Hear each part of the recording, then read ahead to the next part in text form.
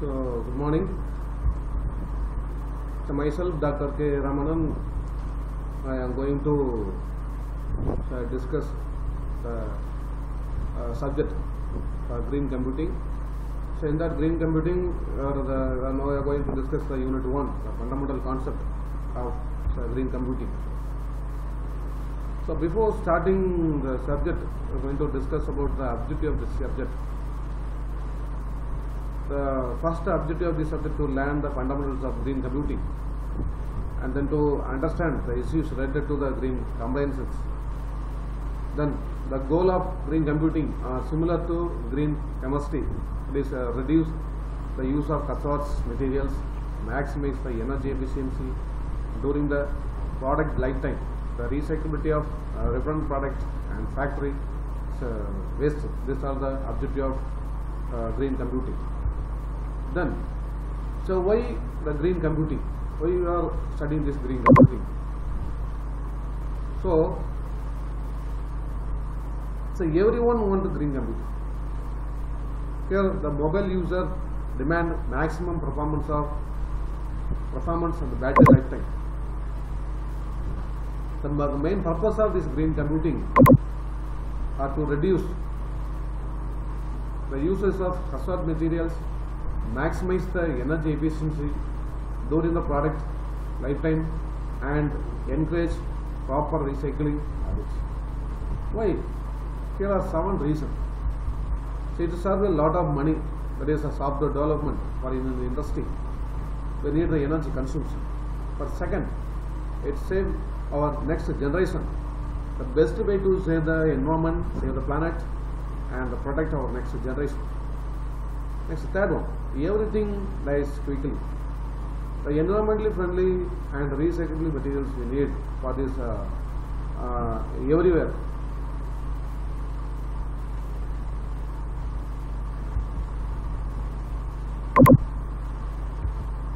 So next, inspire employee.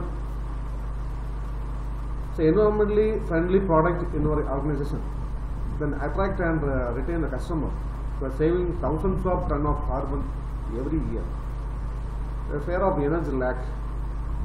In thought of energy consumption in data center come mainly from two loads, server and cooling. So therefore building energy efficient server that comes less energy, also throw a less heat, require less energy for cooling is an essential need. Then uh, reduce uh, risk in the future. The US predict so globally energy demand to uh, grow by 50% by 2030. Therefore, energy prices will rise unexpectedly. By reducing the amount of power consumption to run our business, it will migrate uh, risk. Then, so what is green computing?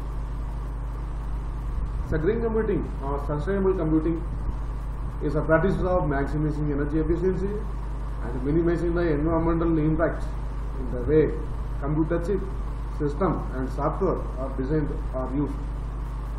So green computing is a design, manufacture, use and disposal of computer, chip, other techno- technology components and peripherals in a way that limit the harmful impact on environment, so including reducing carbon emission and the energy consumed by manufacturer, data center and end user. Also called green information technology, green IT or sustainable IT. So how to achieve this green computing? Uh, these are the following list of way increasing the green computing and energy efficiency in data center and other facilities. For install building environment, install overhead lighting, by energy efficient server, laptops, desktop systems, install energy efficient windows and doors, install fan throughput in, uh, equipment rack, on off system, use refillable filter cartridge, establish broadband policies, and explain to senior management the importance of green computing. Then now, we are now discuss about the, the main fundamentals concept of the unit 1, so green computing, uh, the concept of the unit 1. So this unit introduces the uh, of energy, green computing with its motivation. Then it also speak about the necessity of green computing IT impacting sustainable environment. The unit mainly focus on changing the perspective of the industries by including green IT as one of their business strategy policy. First two, unit two, green assets and modeling. So unit two, first we have discussed about the general concept of every unit. Okay. For second unit concept, the unit brief about the assets of green IT. Second, the transformation and process from conventional IT to green IT at various operational level are discussed elaborately in this unit. Next, green architecture design and development of models for implementing greenness. For unit 3, this unit the benefits of virtualization and its impact on green IT. The brief discussion on the utilities, communication and other amenities in an industry which tends to contribute to carbon emission and explained here. So green data center and green grid framework and best practices to achieve green IT are explained in this unit. For unit 4, this unit deal about the public perception of green IT, various conventions, standard protocol, etc. Green IT audit process is given a special mention. The later part of the unit is discuss the technology and the future roadmap to achieve green IT. So unit 4 5 last unit case study. This unit start with environmentally responsible business strategy. Various case study and a detailed description about each scenario such as hospital, packaging industry and telecom industry is given in the unit. So start with unit 1, the fundamental. So first of all, what is green computing? So green computing, so green is learning and preparation of manufacturing, designing, consuming and ordering of computers, server, storage devices and other peripheral devices commentably and competently with minimal or no impact on environment. In other words, green IT is the branch of study that aim at using computer and its associated resources efficiently. The green IT is composed of dimensions of environmental support, the economics of energy efficiency, and the total cost of disposal and recycling of the same. So, next we are going to discuss about it's a green IT fundamentals, business IT, and the environment. The main approaches of this green and green computing. The figure shows that the pathway to green IT. We are see see the green IT concept and in around this you are start with uh, green uh, design of IT system, green disposal of IT system, then green manufacturers of IT system and green users of IT system. These four approaches to in that the main path to be taken. So green use using the computer and other related products is an efficient manner where the energy consumption is minimized. Next, green disposal. Uh, reusing old computers, properly disposing and recycling other unwanted products. It's a green design. So designing energy efficiently and environmentally friendly computers and accessories. Next, green manufacturing.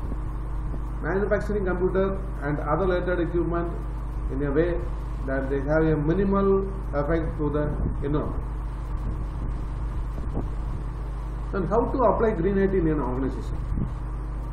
When focusing on business optimization, so few area can be targeted, which energy demand can be reduced and growth can be increased with the help of IT.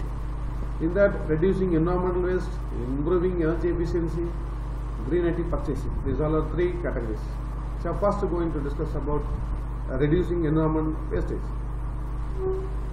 By reducing office waste in the form electronic components, the old desktop or laptop in office could be used to replace parts needed for hardware repair or good related to familiar it can use them to keep them out of landfill. The next second one, improving energy efficiency. This could be achieved in any IT sector by encouraging energy consumption. Thus, company money is also saved to large extent. The computer which are left turned on in any IT sector for a year emits carbon which equal emission product by over 2000 car a day. The use of standby mode or hibernate mode could also enhance energy consumption. So green IT purchasing.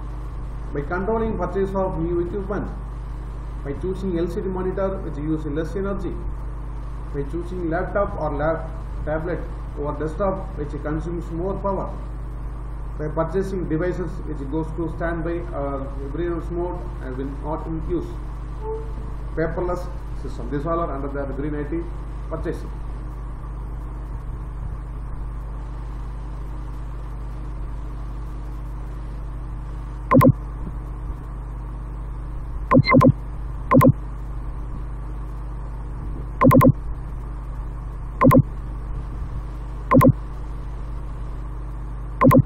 私。